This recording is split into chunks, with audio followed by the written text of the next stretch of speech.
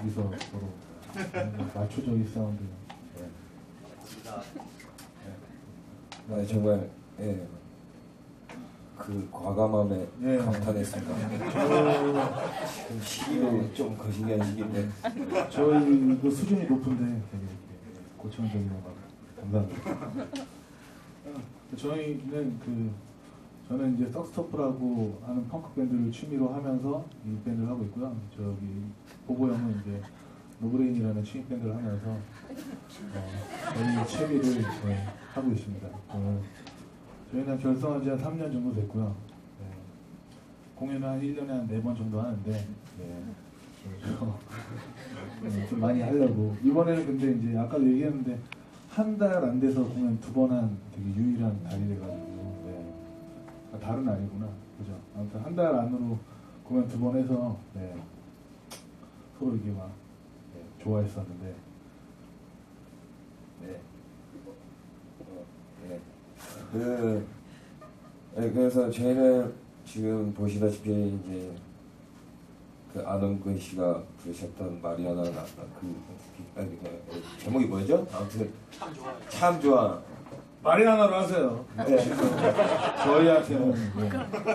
강하게 예, 인생 보이네요. 아, 이러다 큰일 나죠. 아무튼, 예.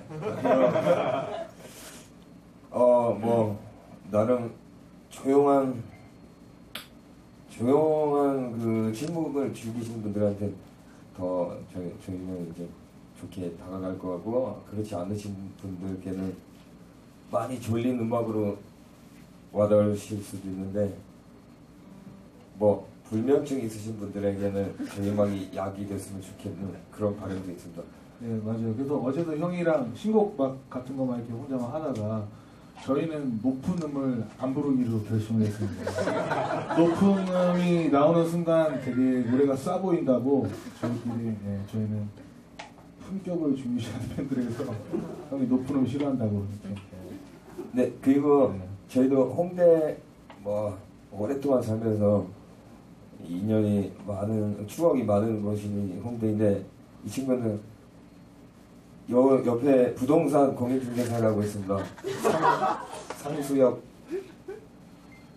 명성 부동산에서 공인중개사 하고 있으니까 혹시 이제 어, 거짓 없는 깨끗한 거래 원하시면 이 친구에게 가면 여기 계신 분들 얼굴 잘 기억해봐. 아니 이제 그거 이제 홍보 안 하셔도 돼요 이제 네, 그거 그거 이제 많이 하셔가지고 안 그래도 이제 친구분들이 많이 찾아주셔가지고 네. 피곤한 것 같아요. 너무 네. 사람들 많이 찾아가지고. 네, 그래서 아무튼 저는 그 고- 부동산 관련된 일을 하고 있고요. 네.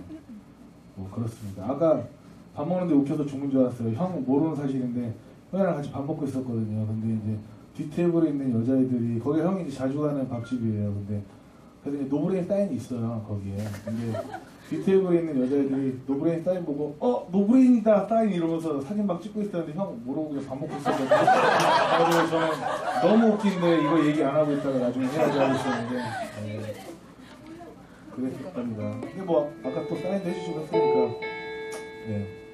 저는 솔직히 저를 알아보시는 분들이 되게 신기해요. 이제 밥 먹으면서도 사인 많이 해주시고 했었어요. 그래서 남자분들이 오셔가지고 자꾸 이렇게 사인해달라고 밥 먹고 있는데 해가지고 친절하게 사인해드리는 거 좋아합니다. 네.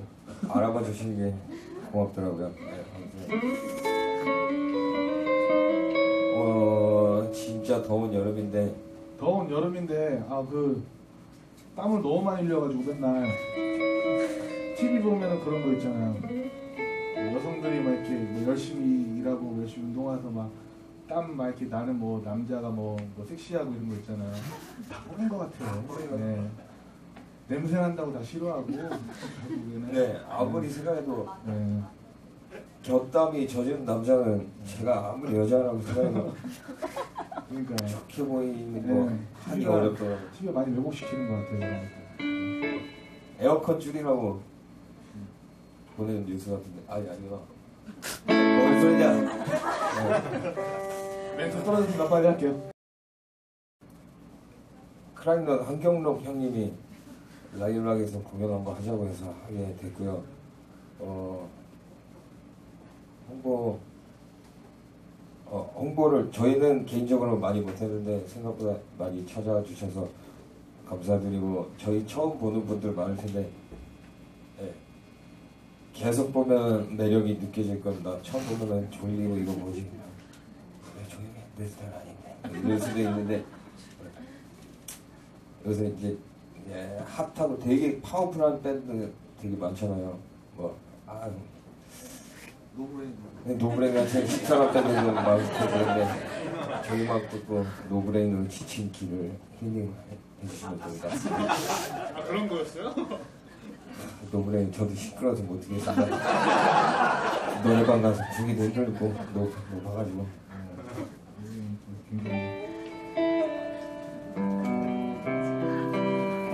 네 아동근 선생님께서 사랑 얘기 많이 해주신 거 많이 들었습니다. 네, 20대 20대시라고요? 20대시라고요? 예. 어, 형님.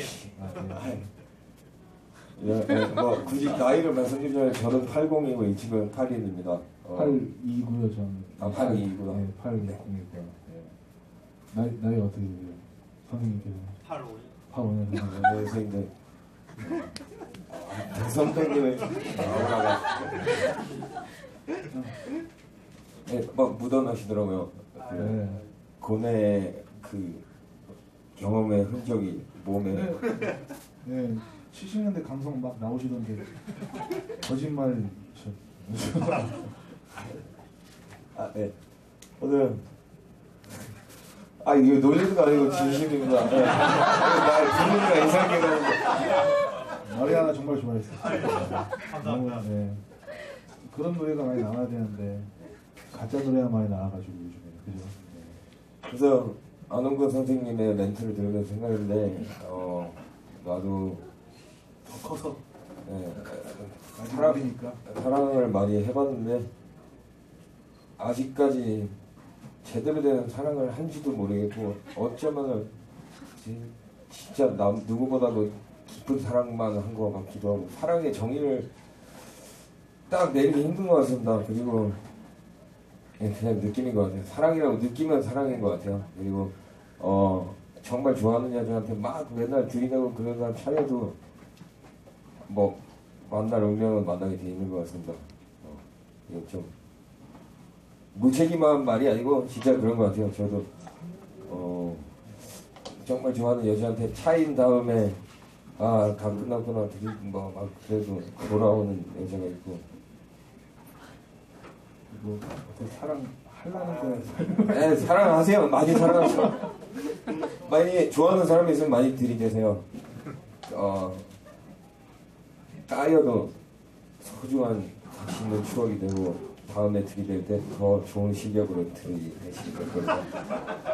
명언이 되고 더 좋으시려고 저는 인생은 경험이라 생각하고 말도 안 되는 아이돌이랑 영화 배우한테도 한번 들이대봤었습니다.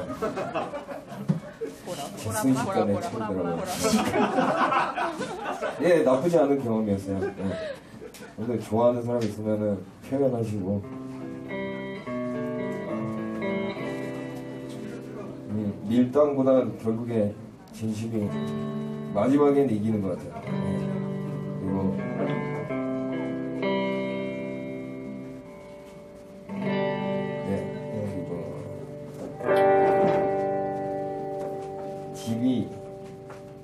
최고라는 웰컴 홈이라는 노래 들려드리겠습니다.